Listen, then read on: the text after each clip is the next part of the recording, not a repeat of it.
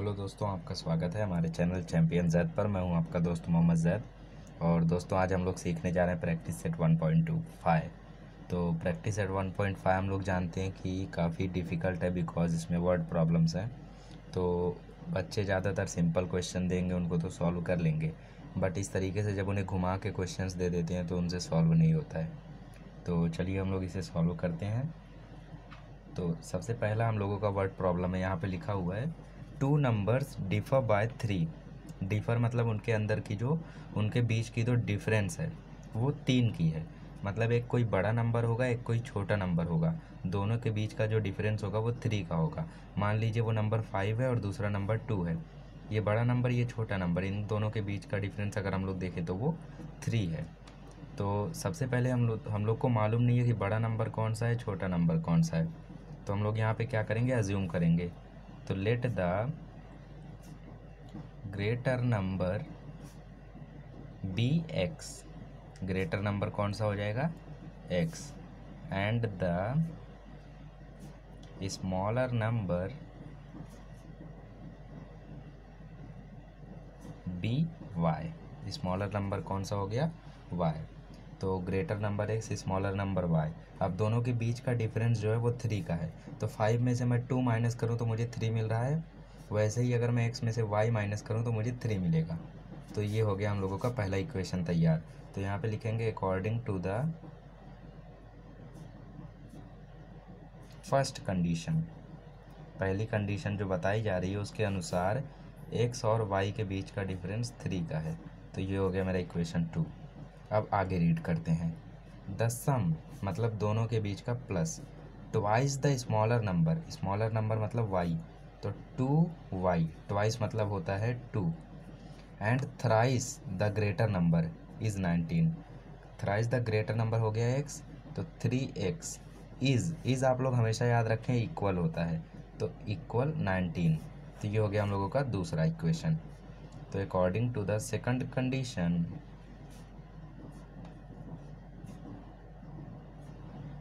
second condition क्या कहती है?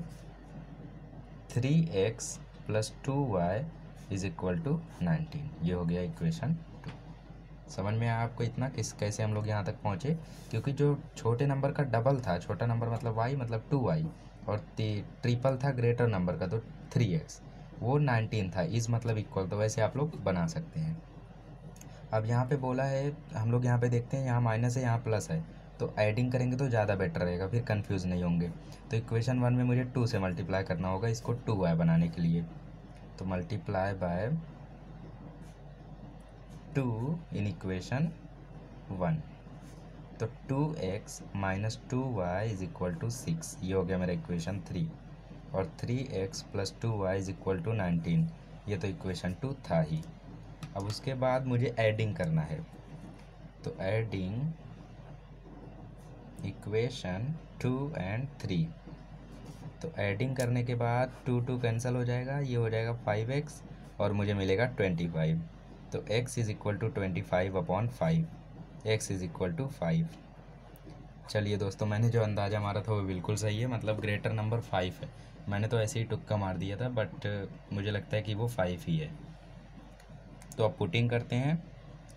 Putting x is equal to five in equation one तो x minus y is equal to three था तो five minus y is equal to three हो जाएगा। तो minus y is equal to three minus five तो minus y is equal to minus two minus minus get cancel तो y is equal to two मतलब बड़ा number है five और छोटा नंबर है थ्री और अगर आप लोगों को जानना है कि आंसर सही है नहीं तो कंडीशन में रखिए। पहली कंडीशन ये थी, इसमें बैठ रहा है। उसके बाद दूसरी कंडीशन ये है, इसमें भी बेटर है। थ्री फाइव या फिफ्टीन टू टू या four fifteen plus four nineteen तो मतलब आंसर बिल्कुल करेक्ट है। चलिए हम लोग अब नेक्स्ट क्वेश्चन देखते हैं। तो नेक्स्ट क्वेश्चन में बोला है कि एक रेक्टेंगल है। रेक्टेंगल में आप लोगों को एक्स और वाई फाइंड करना है और एक्स और वाई फाइंड करने के बाद इसका पेरीमीटर और एरिया फाइंड करना है। तो काफ़ी लंबा समय दोस्तों। तो सबसे पहले मुझे बताइए रेक्टेंगल की क्या क्या प्रॉपर्टीज़ हैं? जी हाँ सारे एंगल्स 90 डिग्री होते हैं। अपोजिट एंगल्स इक्वल बिल्कुल होंगे क्योंकि सब 90 रहते हैं। अपोजिट साइड्स भी इक्वल रहती हैं। जी हाँ अपोजिट साइड्स भी इक्वल रहती हैं। तो रेक्टेंगल का नाम ले लेते हैं हम लोग। Let quadrilateral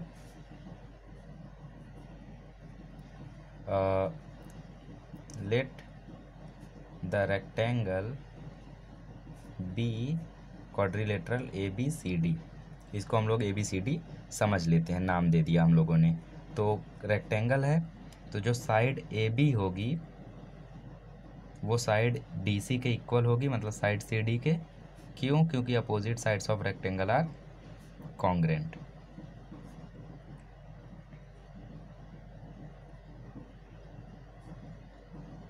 इतना समझ में आया आपको कि मैंने कैसे इक्वल बताया? उसके बाद ए बी इक्वल है मतलब two x plus y plus eight is equal to four x minus y, ये भी इक्वल होगा।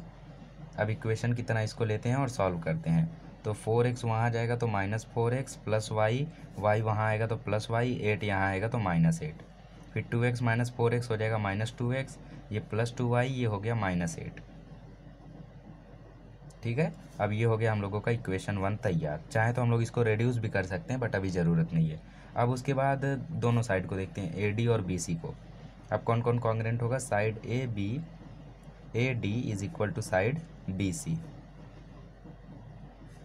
same property will come here as well तो ए डी हम लोगों का टू वाई है और बी सी हम लोगों का एक्स प्लस फोर है। तो two y minus x is equal to four इसको अरेंज करें तो minus x plus two y is equal to four ये हो गया इक्वेशन टू तैयार। अब उसके बाद यहाँ माइनस एक्स है, यहाँ माइनस टू एक्स है मतलब सब्ट्रैक्शन तो करना ही है। तो क्यों ना टू वाई और टू वाई का कर दिया जाए? तो चलिए दोनों इक्वेशन को लिखते हैं।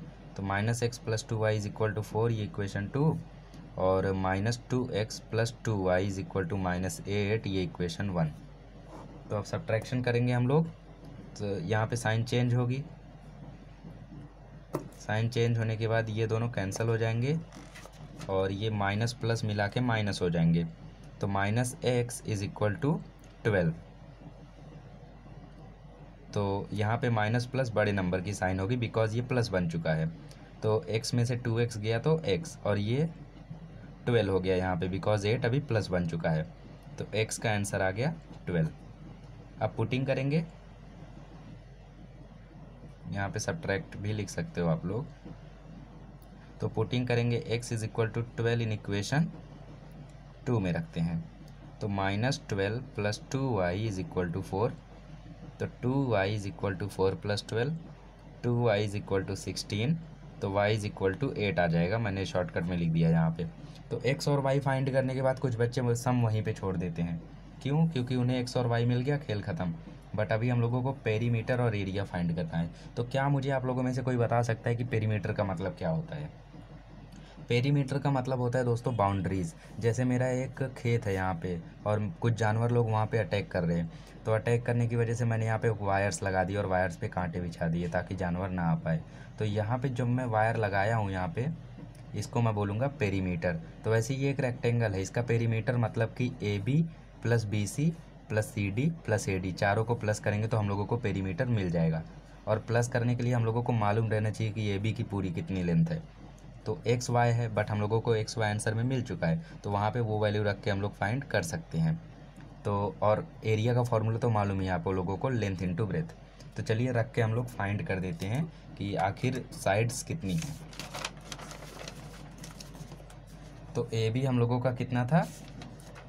ए बी हम लोगों का था two x plus y plus eight तो टू एक्स था तो एक्स हम लोगों को मिला ट्वेल्व और वाई मिला एट। तो two into twelve plus eight plus eight. तो टू ट्वेल्व या twenty four plus sixteen forty. तो ए बी हम लोगों का हो गया फोर्टी। और ए बी फोर्टी हो गया तो हम लोगों का डी सी भी कितना हो जाएगा फोर्टी, क्योंकि opposite sides are congruent. Opposite sides are congruent. तो ये फोर्टी फोर्टी हो गया और फिर उसके बाद जो हम लोगों का टू आई था तो हम लोगों का जो ए डी था, वो टू वाई था। तो वाई हम लोगों को एट मिला है तो two into eight is equal to sixteen तो ए डी सिक्सटीन हो गया तो बी सी भी कितना हो जाएगा? सिक्सटीन हो जाएगा। सेम प्रॉपर्टी हियर तो उसके बाद अभी हम लोगों को क्या फाइंड करना है? अभी हम लोगों को पेरीमीटर फाइंड करना है। पेरीमीटर का फॉर्मूला होता है रेक्टेंगल का। Perimeter of rectangle is equal to two L plus B या फिर two into length plus two into breadth भी लोग बोलते हैं। तो टू फोर्टी प्लस सिक्सटीन तो टू इंटू फिफ्टी सिक्स तो ये हो जाएगा वन हंड्रेड ट्वेल्व तो उसका पेरीमीटर कितना था? वन हंड्रेड ट्वेल्व अब एरिया फाइंड करते हैं। Area of rectangle is equal to length into breadth और लेंथ कितना है? फोर्टी ब्रेथ कितना है? सिक्सटीन तो फोर्टी सिक्सटीन जा कितना होता है? काफ़ी बड़ा सवाल है six forty because sixteen four जा सिक्सटी फोर फिर एक ज़ीरो तो ये हो गया हम लोगों का पेरीमीटर और एरिया तो इस तरीके से हम लोग इस क्वेश्चन में क्या किया? हम लोगों ने सबसे पहले एक्स और वाई की वैल्यू खोजी और एक्स और वाई का वैल्यू खोजने के बाद हम लोगों ने उसको इसमें पुट किया और पुट करने के बाद हम लोगों को ये आंसर मिला है. तो इस तरीके से यहाँ पे कोई यूनिट नहीं दिया हुआ है तो हम लोग इसको स्क्वायर यूनिट लिख सकते हैं. तो ये था हम लोगों का सेकंड सम अब चलिए थर्ड सम करते हैं और इस वीडियो में मैं आपको सिर्फ़ थर्ड तीन ही सम बता रहा हूँ बिकॉज़ इतना काफ़ी है आप लोगों के लिए अभी के लिए समझना। तो चलिए इसमें क्या बोला है देखते हैं। The sum of the father's age and twice the age of his son is seventy ठीक है?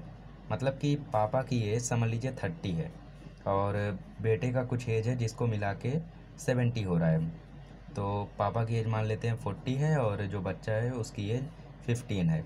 तो उसका अगर मैं ट्वाइस करूँ तो थर्टी प्लस फोर्टी सम कितना हो रहा है? सेवेंटी हो रहा है। तो उसकी एज और पापा की एज पापा की एज को मैं एक्स अज्यूम कर लूँ और बेटे की एज को वाई एज्यूम कर लूँ, उसके साथ टू किया जा रहा है मतलब two y is equal to seventy तो पहला इक्वेशन हम लोगों को मिल गया। X plus two y is equal to seventy चलिए लिख लेते हैं। Let the present age of father be x खाली x रहेगा जी नहीं, x years and the present as ऑफ़ his son be y years. तो according to the first condition पहली कंडीशन के हिसाब से हम लोगों ने जो लिखा है, वही इक्वेशन यहाँ पे आ जाएगा। और हम लोगों का इक्वेशन है x plus two y is equal to seventy अब आगे बढ़ते हैं। If we double the age of father मतलब डबल कर दें अगर हम लोग, ये एक्स वाई है, ठीक है? तो इनकी एज को अगर हम डबल कर दें, और फिर उसके बाद उसके बेटे की सन में हम लोग ऐड करें मतलब बेटे की एज में उसको ऐड करें। तो आंसर आ रहा है नाइन्टी फाइव तो सेकंड कंडीशन भी मिल गया two x plus y is equal to ninety five तो according to the second condition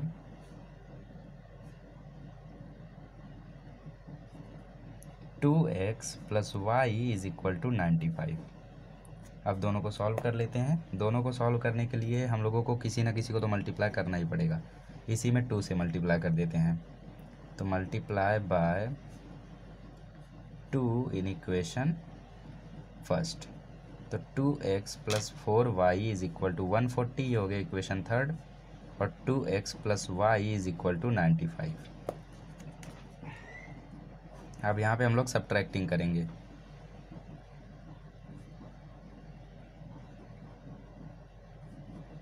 तो सब्ट्रैक्टिंग करेंगे तो साइन चेंज होगी।